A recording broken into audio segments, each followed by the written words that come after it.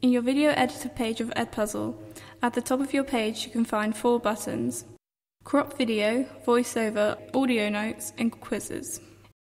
Each of them allows you to edit your video or add specific content to it. The first button is the Crop Video button. In the center of our screen, we can see our video. Below the video, we find our timeline. The timeline has a play button on the left, and the blue round circle, we can move through the video with it. We can also see two red tabs on our timeline, one at the beginning and the other at the end of our video.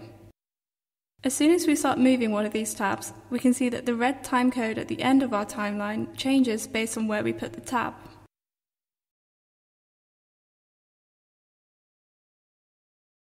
We are cropping the video and making a new beginning with the tab on the left and a new end tab on the right of our video.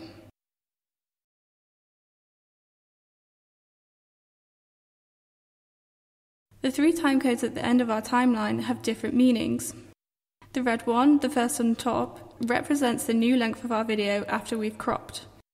The one in the middle represents the position of our cursor on the timeline, while the grey one represents the original length of our videos.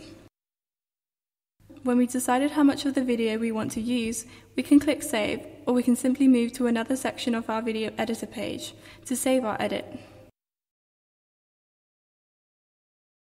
If we don't want to cut anything out of the video, we simply skip this passage.